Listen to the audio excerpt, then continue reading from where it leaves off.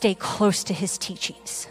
He says, being a worshiper is what positions me to pray effectively. When you are close to his feet, when you understand you have the depth of relationship with the Father, and you revere his sovereignty in your life, you are then led to a response of worship that leads you to know what to pray and how to pray because you're outside of your own perspectives and your own complaining. You're in alignment with who he is.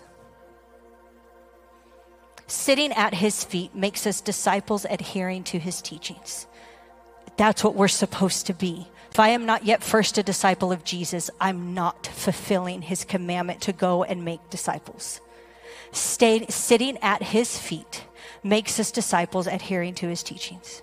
I believe the Lord left us with three things from Mary and Martha.